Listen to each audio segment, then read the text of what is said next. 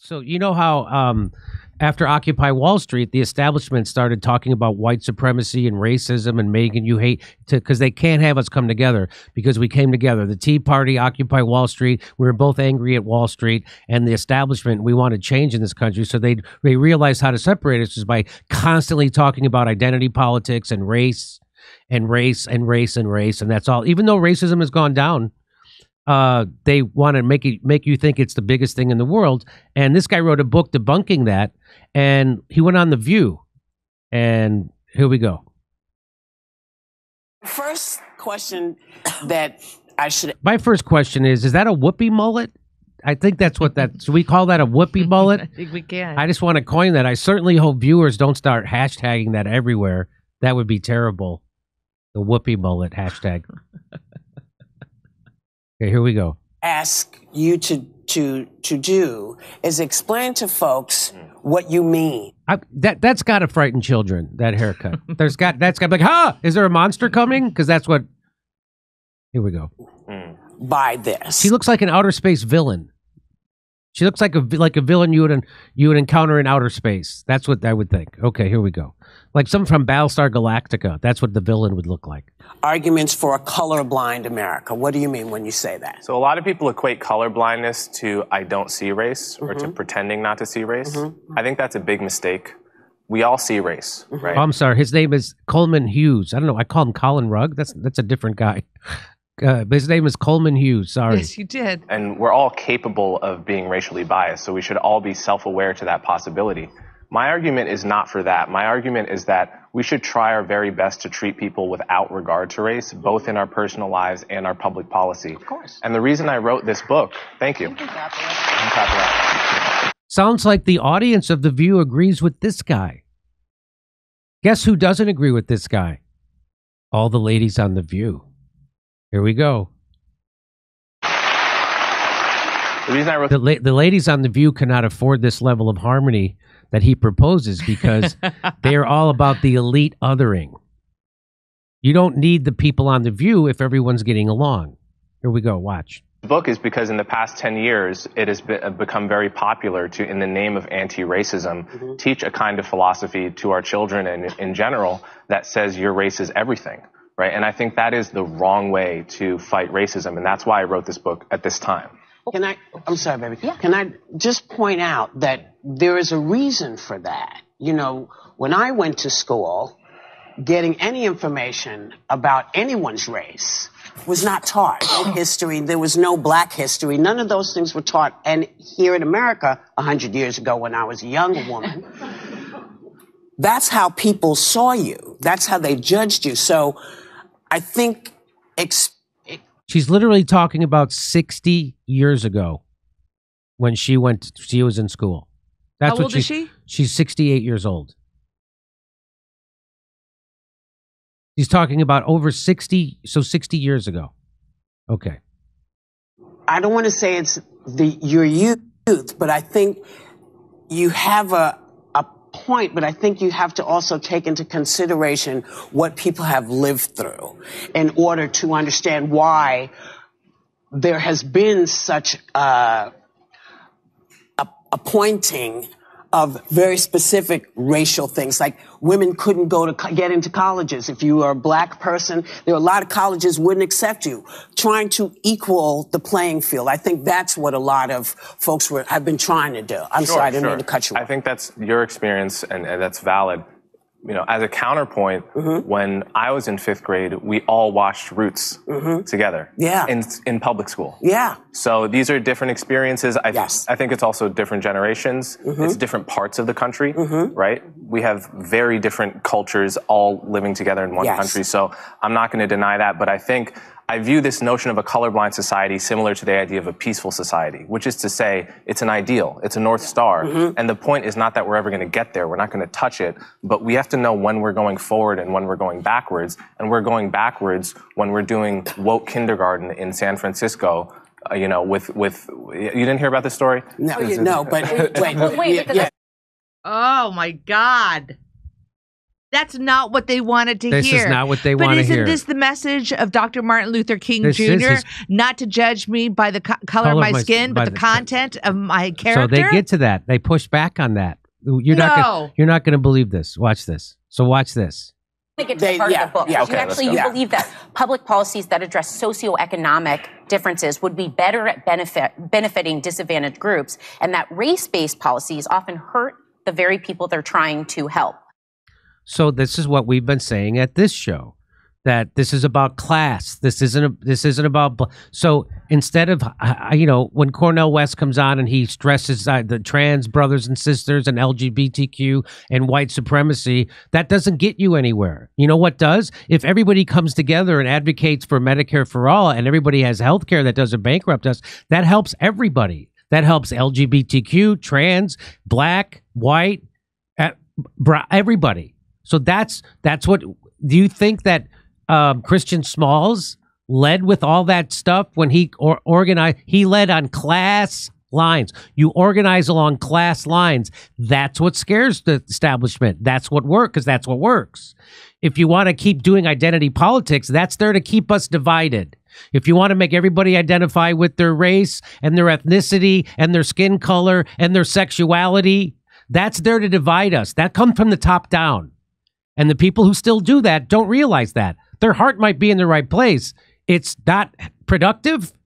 And you have to come at this from class lines. That's the only thing that works. And it's the only thing that scares them. Okay.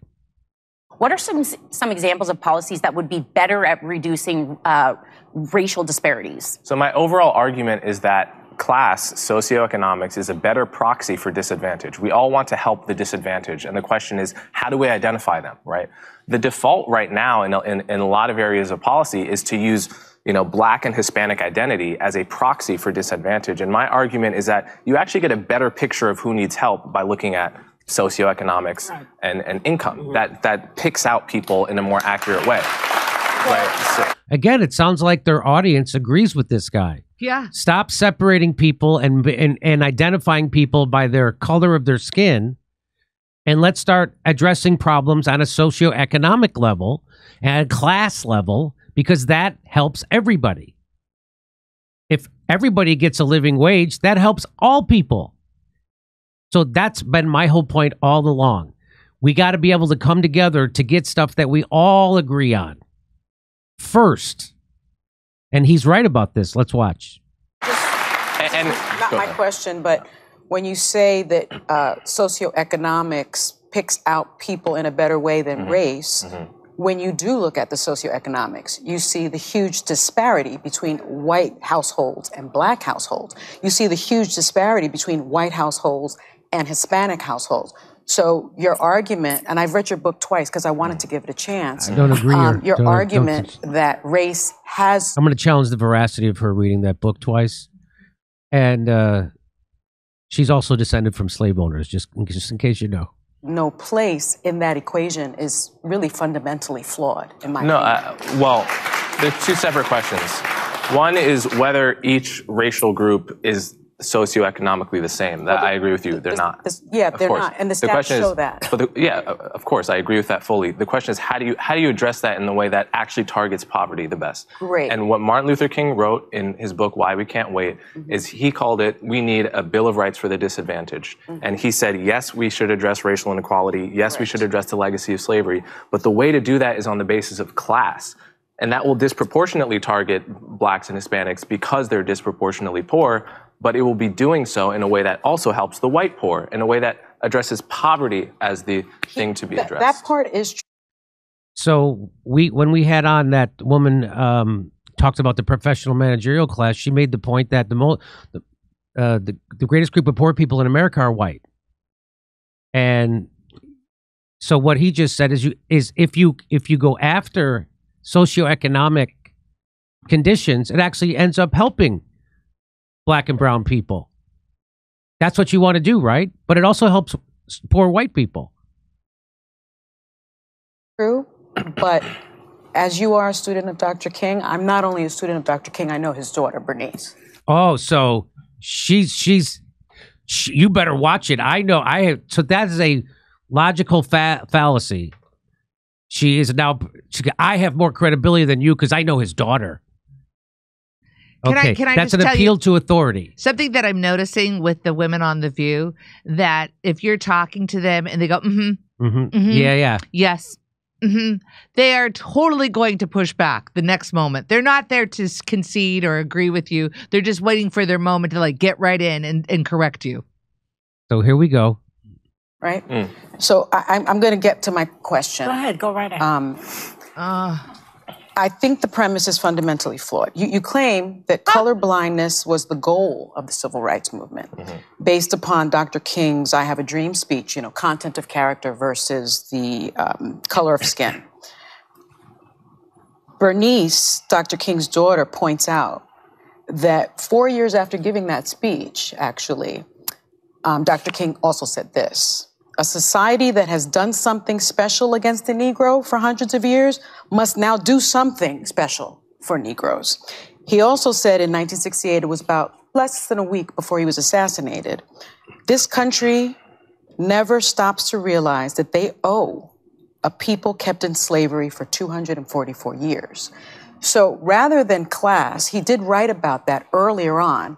Right before his death, he made the argument for racial equality and racial reparations. And so your argument for color blindness, I think, is something that the right has co opted. And so many in the black community, if I'm being honest with you, because I want to be, believe that you are being used as a want her- pawn by the right and that you're a charlatan of sorts. He's, he's not a Republican. so how do you? who- He's who never am I being voted well, you, for a you, you, Republican. you, you've said that you're a conservative. So she just called him a charlatan, and she's going to backtrack on that going forward. She's going to pretend like those weren't her words, but that's that's her. This is her talking. Okay. No, you- no. no. no, you did. You actually said that uh, in the podcast that you did two weeks ago. I said I was a not conservative. a- Yes, He's not. yes, you did. If- So, but my question to you, my question to you is, how do you respond to those critics? Okay, let- Let's give him, let's Okay, let him, so him answer. He the has first thing I a want to, I, I- I think it's very important. The quote that you just pointed out about doing something special for the Negro. That's from the book Why We Can't Wait that I, that I just mentioned. Yes. A couple paragraphs later, he lays out exactly what that something special was, Yes. and it was the Bill of Rights for the Disadvantaged, a broad class-based po- uh, But, but he also says okay? you must include race. No, he didn't. He says it's Yes, a. he does. Okay, well, everyone can go. Everyone should go read the book Why We Can't Wait. Let's not get sidetracked by that. Yeah.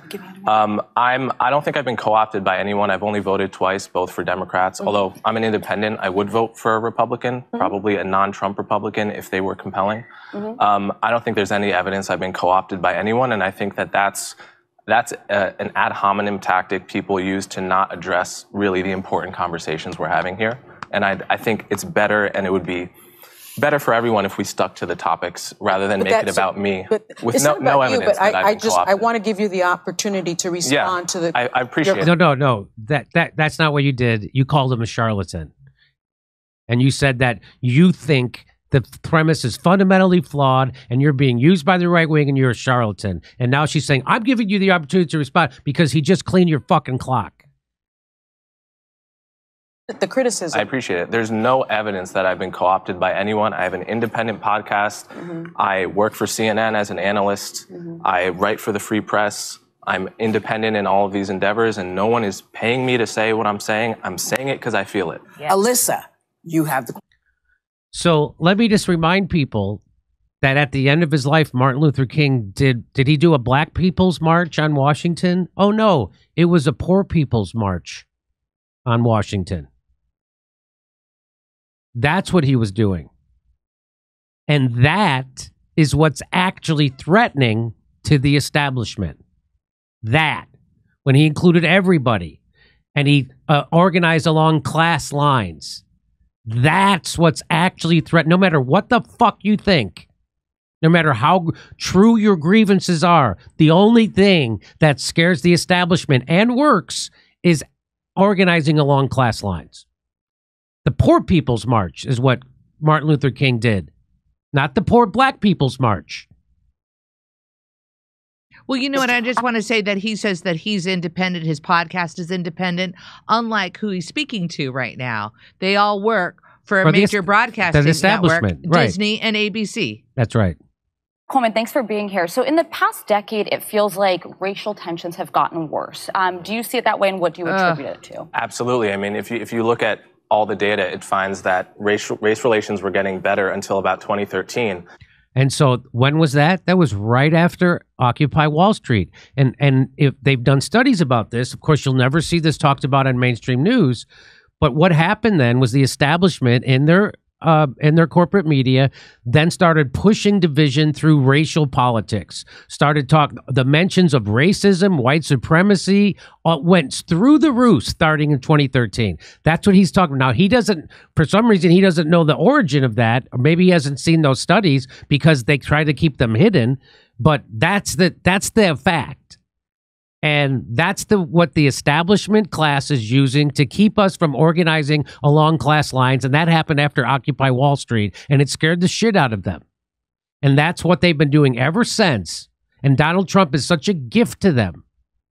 And the fact that they could rehabilitate uh, Jim Crow Joe Biden as some kind of fighter for racial justice is just goes to show you how good propaganda works.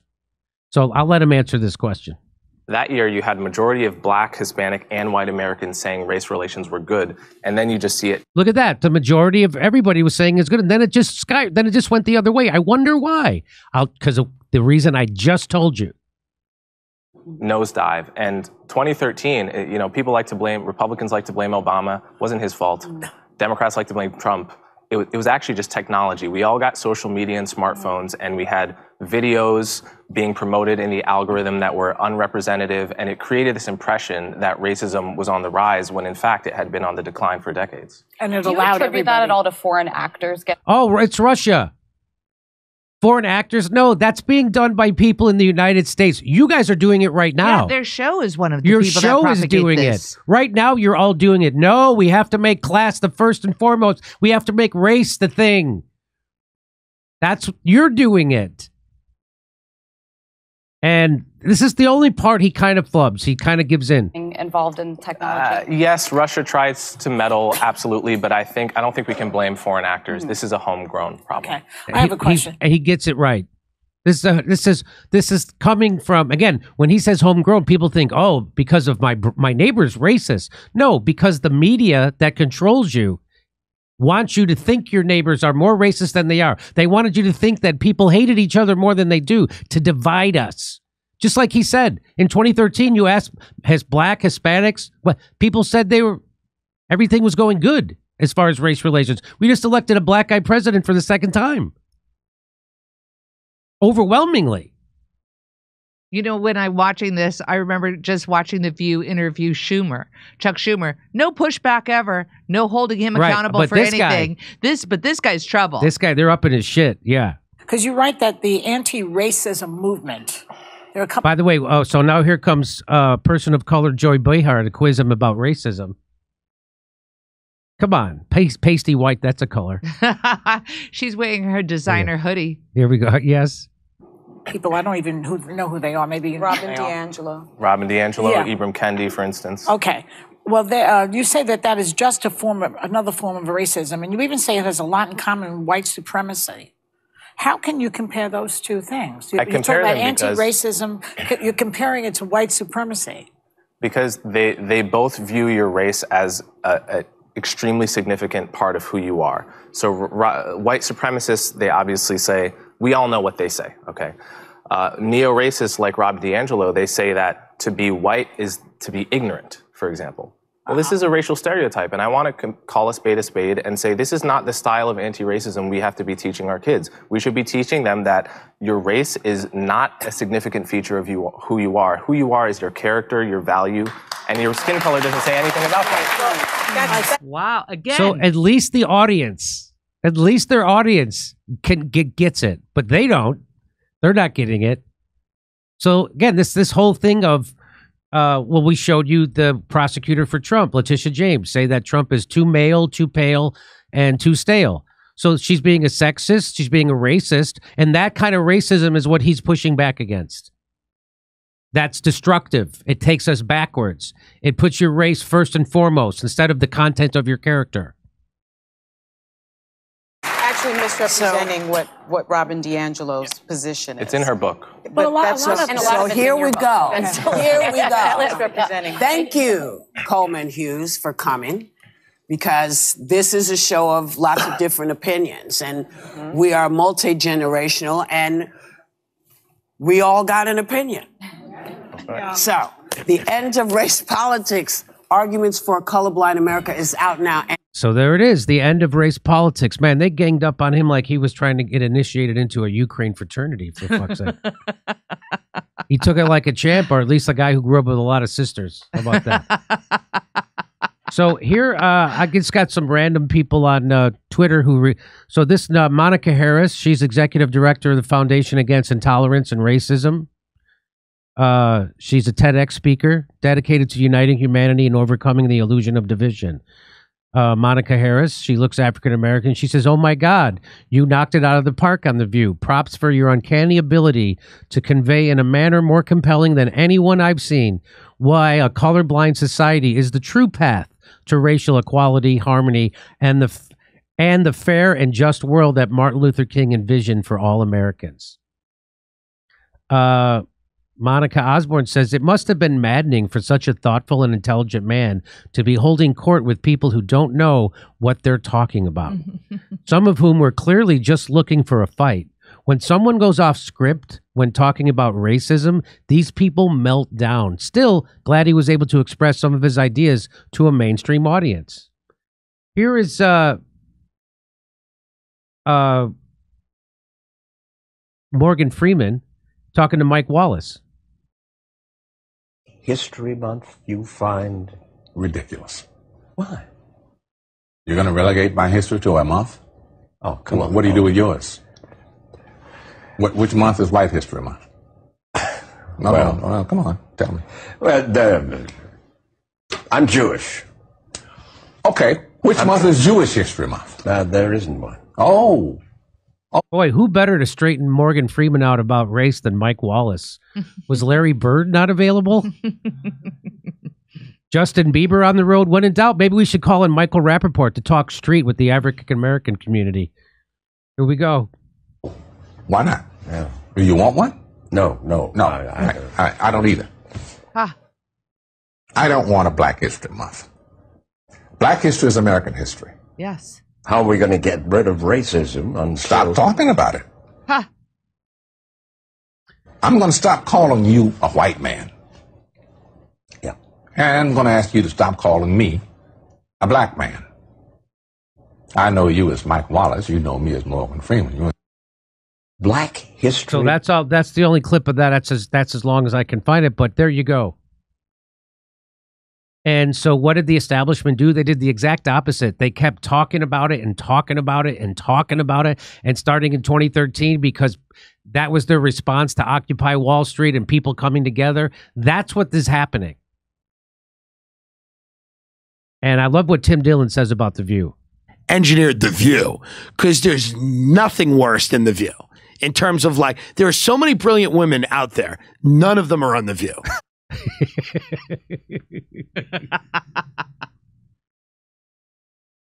And I just want to remind you the kind of mindset that the View has. This is this is just another example of the uh, regressive ridiculousness that that sh- here watch watch. So there's this clip going viral online of a dozen women being asked the following question Do we need men?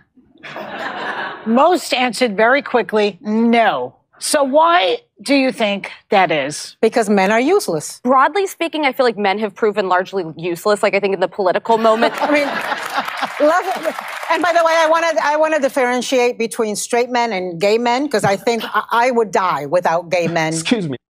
So now this guy, this is a comedy bit. So now this is his comedy part. Got it. The ABC network, which is hosting this show, would have canceled the show if it were a panel of men saying that women are useless.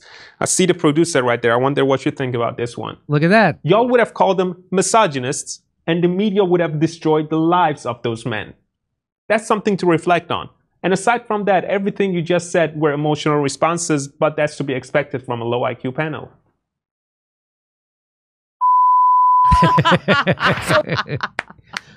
Notice that it's not called the views. It's called the view, singular. There's no room for a second opinion at that table. The only variation they allow is doing something different with your hair. They're more concerned with coloring inside the lines than they are with skin Mhm, color. I'll tell you that. The view is dog training, and guess what? We're the dogs. Here's uh, here's one more. Uh, so he's she was talking about that passage that um, Sunny was talking about in that Martin Luther King book, and she says what this passage proves is that Martin Luther King embraced the concepts of affirmative action and reparations. He understood that without economic opportunity, there could be no true equality. However, towards the end of his life, he appreciated that the systemic inequities of class were plaguing a growing segment of black and white America. Hence his decision to stage the Poor People's March in the final months of his life, which was not confined to people of color, but included poor white Americans. As that guy on The View said, the biggest driver of inequality now is class, not race.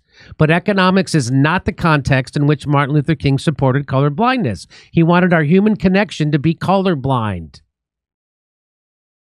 He envisioned a society in which we recognized race but did not judge or treat one another differently because of it. He would not have advocated that black students be separated from white students in affinity groups or taught in black only classes because that's just that's just debranded segregation. You can't fight segregation with segregation. Martin Luther King was a staunch advocate of integration. He would be appalled by what is happening in our schools because racializing our human experience ultimately separates us by emphasizing our differences versus our common experiences and values. Don't forget that Martin Luther King also said, I'm convinced that men hate each other because they fear each other. They fear each other because they don't know each other. And they don't know each other because they don't communicate with each other. And they don't communicate with each other because they are separated from each other. Defining humans as racial beings will drive separation and ultimately breed hate. When there is hate, there can be no equality. This is the most definitely not what Martin Luther King wanted. And here's what a white guy, Matt Taibbi, said. He said, Our differences are beautiful, but it was a long battle to eliminate policy distinction based on race and to begin to try to see ourselves as equal members of a common humanity. These people from The View would undo all of that hard work. And here's Sunny when she found out that she was descended from slave owners. You want to see it? Let's watch. Wow. I'm I'm a little bit in shock. I, I just always thought of myself as Puerto Rican, you know, half Puerto Rican. I didn't think I was uh my family was originally from Spain and slaveholders. um, yeah. So, how are you feeling, my friend? I just um, I think it's actually pretty interesting that um, my husband and I have shared roots. Yeah. So I, I do appreciate that. Um, and I think it's great for our children Mhm. To know this information. Um, I guess it's a fact of life that uh, this is how some people made their living on the backs of others. Wow. So anyway, uh, I hope you enjoyed that segment. Uh, I I can't wait to get that guy's book and read it, and I hope I get a chance to interview him. Yeah. Hey, there's still tickets available in Stockholm, Oslo, Stroudsburg, Pennsylvania, Cortland, New York, Oakmont, Pennsylvania, El Paso, Texas, San Antonio, Texas, Edmonton, Alberta, Vancouver, British Columbia, Denver, Ashland, Virginia, and Athens, Georgia. See you there.